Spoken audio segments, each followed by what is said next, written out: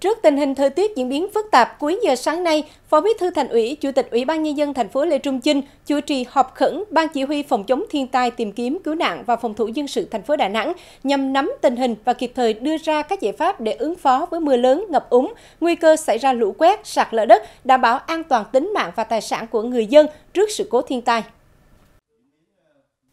Theo dự báo, mưa lớn sẽ vẫn còn kéo dài trong những ngày tới. Chính vì vậy, các đơn vị, sở ngành cùng các địa phương đã chủ động đánh giá tình hình, đưa ra nhiều biện pháp kịp thời, sẵn sàng các phương án kịch bản để ứng phó với mưa lớn, ngập úng, nguy cơ xảy ra lũ quét, sạt lở đất.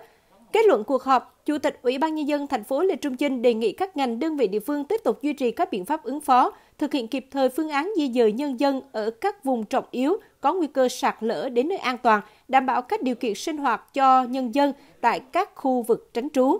Chủ tịch Ủy ban nhân dân thành phố đề nghị tổng ra soát các điểm ngập úng trên địa bàn, đề xuất ngay biện pháp xử lý, không được để bị động bất ngờ.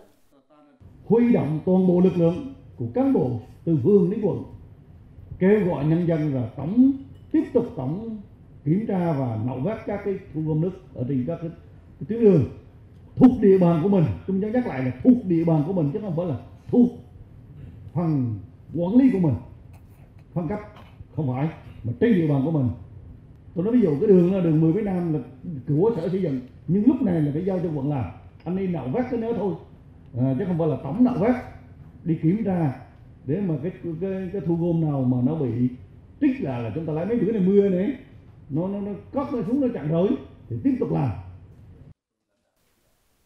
Chủ tịch Ủy ban Nhân dân thành phố yêu cầu tiếp tục bố trí lực lượng ứng trực tại các tuyến đường cảnh báo nguy hiểm như Khe Cạn, Mẹ Suốt, Nguyễn Nhàn, thường xuyên kiểm tra các hồ đập, khu vực ven sông, các điểm sạt lở. Cùng với đó, Chủ tịch Ủy ban Nhân dân thành phố nhấn mạnh cần đẩy mạnh công tác thông tin tuyên truyền đến người dân, chung tay cùng với thành phố thực hiện các biện pháp ứng phó với mưa lớn. Đặc biệt là sở tiền phòng.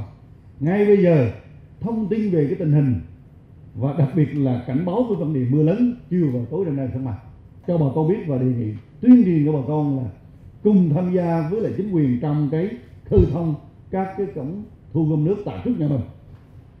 Xử lý tin giả, xử lý nghiêm cho cùng với công an. Xử lý nghiêm đi. Sáng hôm nay và chiều hôm qua và sáng nay có rất nhiều tin lấy tin cũ, đưa lên. Ví dụ như là là nó là ngày 13 tháng 10 nữa đó đưa lên là nó là cơn bão mạnh đi. Vào tối hôm nay là không cho người dân ra đường. Làm cho hoang mang nhất là các cụ hưu. Nhắn tin tới đây là tình hình như thế nào, con, em, để chỉ đạo. Nhưng có phải đâu?